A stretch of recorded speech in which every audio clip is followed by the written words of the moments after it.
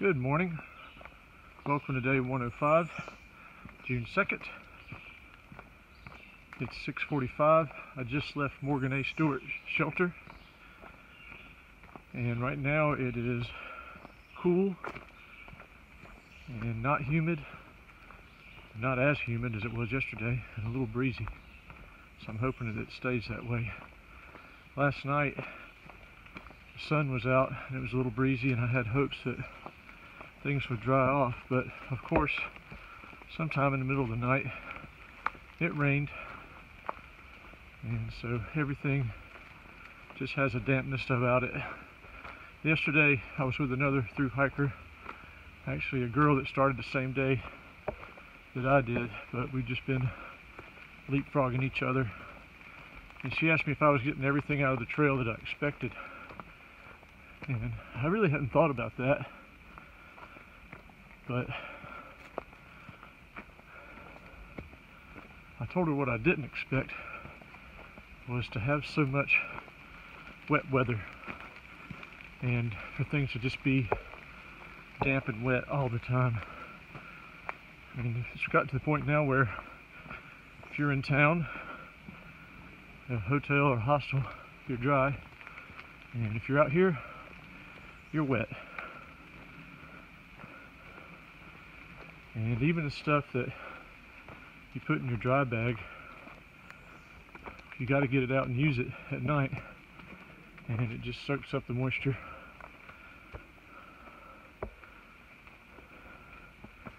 And yesterday, I sweated so much that by, by midday, my shirt was just dripping with sweat. It was like it was like I'd been walking in the rain. But I've checked the weather and it looks like the temperature is not going to be as high. I think it might be 80 today, but going into next week is going to be cooler. Still partly cloudy, 10% chance of precipitation. This was the forecast for Pawling, New York, which is what I'm close to now.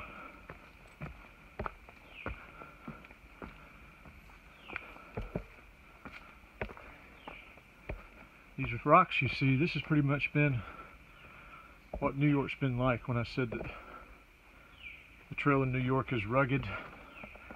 This is what I'm talking about here.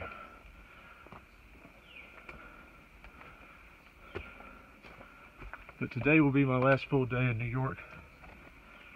Doing 20 miles to 10 Mile River Shelter. And I think we will actually cross into New York, oh, excuse me, Connecticut today.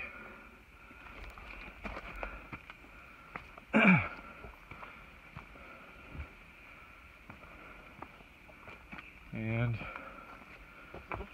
we'll be in Connecticut. You have to do, you have to cross back into New York for, I don't know, maybe a mile or so. It's not far. And then you cross back into Connecticut permanently. So, and one other thing, I know why there's a university in New York called Slippery Rock because you do a lot of walking on these rocks in New York and where that's black right there. That is deceptively slippery. And so much so that I don't want to walk on it because I have had several close calls moving at normal speed thinking that that would be something good to step on.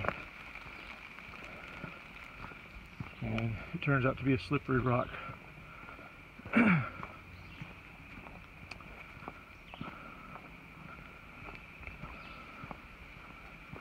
Alright, that's going to be it for this morning's opening segment.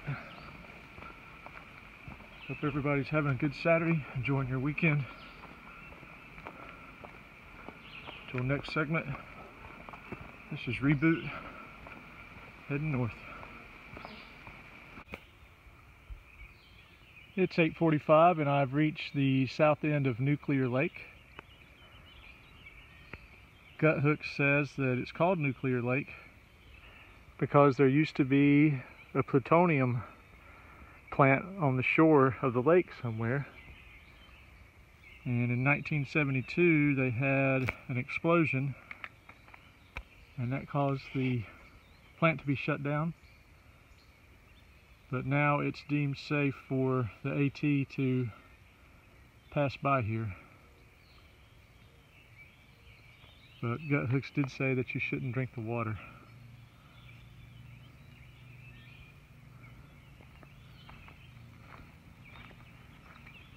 But it looks pretty clear to me. I wouldn't drink it anyway. I'm sure they test it.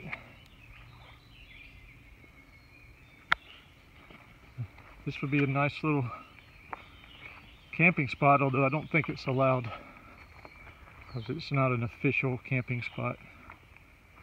And in New York, you're only allowed to stay in designated camping spots. But this would be a good one. This is an unnamed view looking east.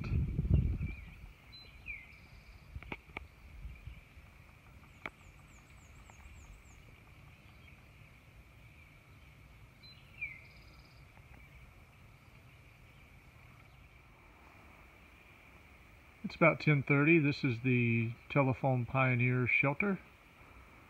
I stopped here for a snack and to use the privy, which the privy is right up there.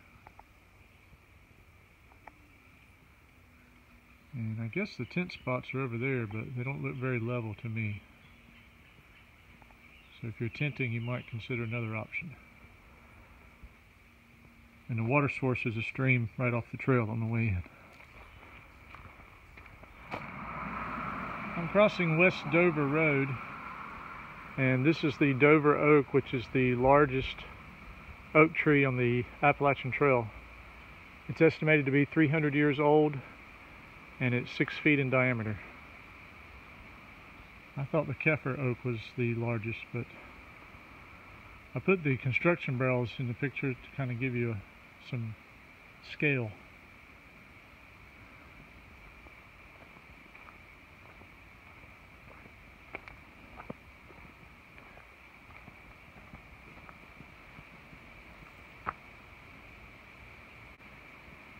It's interesting how it's twisted at the bottom.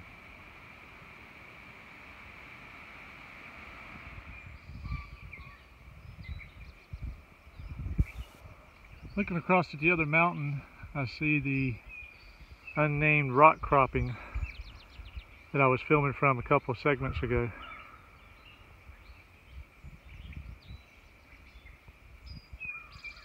The breeze is uh, keeping the humidity down and it's cooler than yesterday, so so far so good. New York has a boardwalk as well.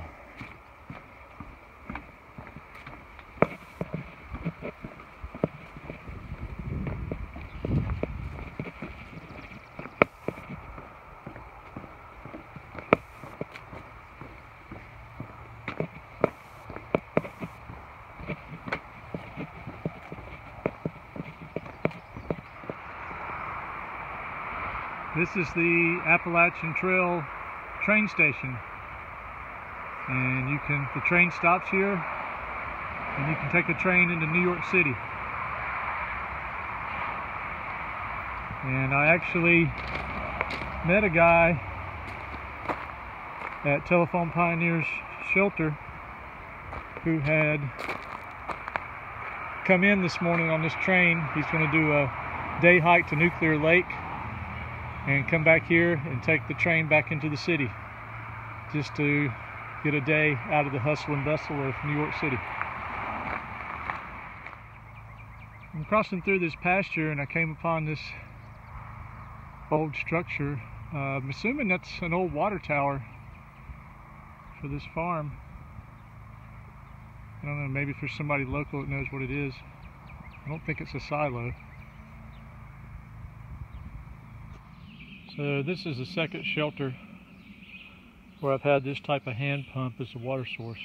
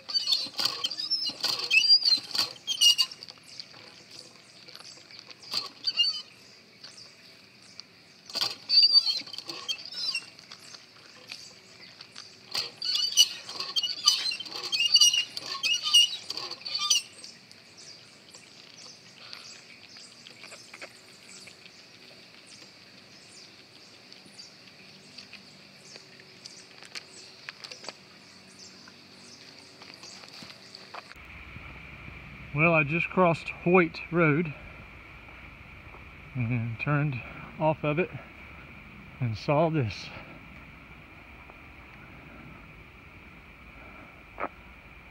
Welcome to Connecticut. It's not really checking off New York yet because tomorrow we'll have to cross into New York for a short distance, I'm not sure how far it is, and then come back into Connecticut for good. But this is still a nice milestone here. This is going to be the wrap-up video for day 105. I'm at the 10 Mile River Shelter and the privy is right over there. It's a decent privy. Uh, it could use a good sweeping out with cobwebs and dirt.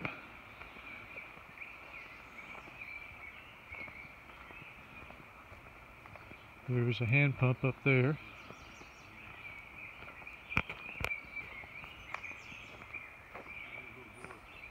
And once again, I'm not staying in the shelter, I'm staying in my tent.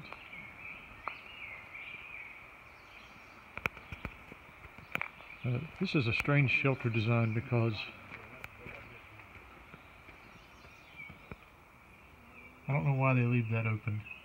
But I saw one other one like that, I think in Tennessee.